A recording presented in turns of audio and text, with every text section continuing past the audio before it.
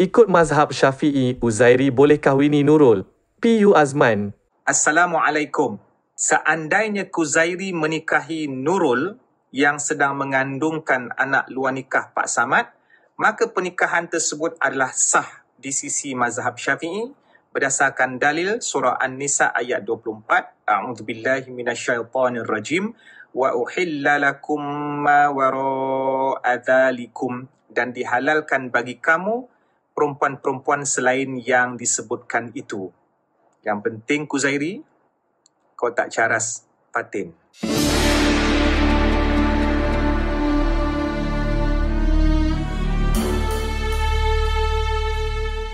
Kegilaan drama Berhantu Tujuh Hari Mencintaiku musim ketiga menghampiri kemuncak pada minggu ini. Tidak cukup dengan konflik bertalu-talu melanda keluarga Mak Leha lakonan Liza Abdullah dan Pak Samad lakonan Kaza, muncul pula perdebatan netizen mengenai dakwaan jalan cerita yang dikatakan melanggar hukum hakam agama. Perkara tersebut tercetus apabila karakter Uzairi lakonan Syukri Yahaya membuat keputusan menjadi Pak Sanggup mengahwini Nurul lakonan Wafariana yang didakwa hamil anak Pak Samad. Disebabkan hal tersebut, netizen mula berbalah dan sangsi adakah si anak dibenarkan berkahwin dengan wanita hamil anak luar nikah yang sepatutnya menjadi ibu tirinya. Tidak terfikir ke kalau Uzairi kahwin dengan Nurul anak yang dikandung itu secara teknikalnya ialah adik dia, soal netizen. Menjawab persoalan ramai pendakwah bebas popular Azman Shah alias atau lebih dikenali sebagai PU Azman berkata pernikahan antara Uzairi dan Nurul adalah sah.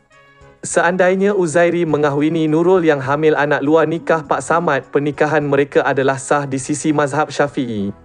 Perkara ini terdapat perbezaan pendapat dalam kalangan ulama. Saya cuma menjelaskan mengikut mazhab syafi'i sahaja seperti yang dinyatakan dalam surah An-Nisa ayat 24. Apa yang penting ialah jangan caras Fatin, katanya dalam satu video TikTok. Sebagai info, PU Azman turut membintangi drama tersebut yang membawa watak Taufik iaitu bekas suami Fatin. Drama 7 HMK3 merupakan antara drama yang paling popular dan hangat diperkatakan netizen hari ini.